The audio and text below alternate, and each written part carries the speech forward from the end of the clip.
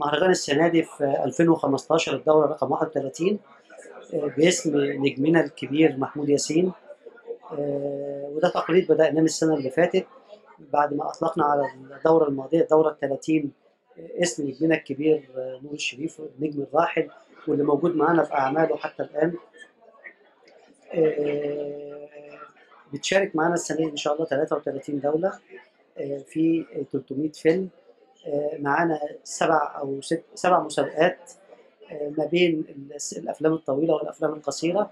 آه، عندنا مسابقة الإسكندرية السينمائي للأفلام الطويلة الروايات الطويلة لدول البحر الأبيض المتوسط ومسابقة الأفلام القصيرة لدول البحر الأبيض المتوسط.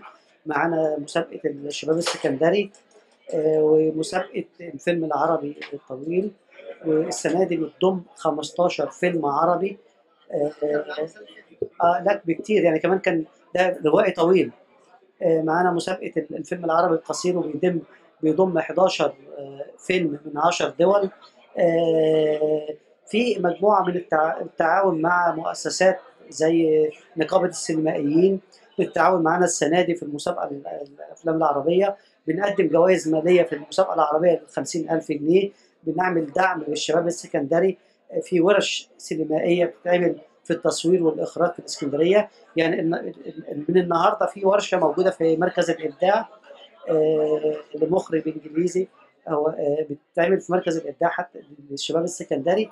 وفي مسابقة يعني في ورشة كمان أخرى هتعمل للتصوير للمصور السينمائي والمخرج سعيد الشيمي آه، بالإضافة لأعمال كتيرة موجودة وبنتمنى دعم النجوم المصريين لهذا المهرجان.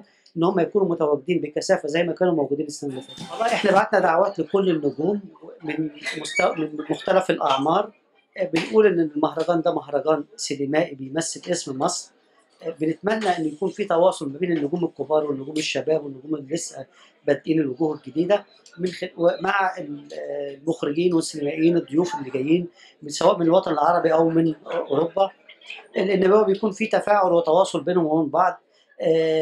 بنتمنى يكونوا موجودين لأن هم يعني قوة مصر الناعمة في دعم آه، السينما المصرية. آه، ولا يخفى علينا أو عليك إن السنة دي بعد يعني عودة بعد أن أصبح لمصر دولة ورئيس اللي هو الرئيس عبد الفتاح السيسي بنعمل على دعم القومية العربية وعودة الوطن العربي للحضن الأم اللي هي مصر. آه، فأقمنا أكثر من فاعلية عربية.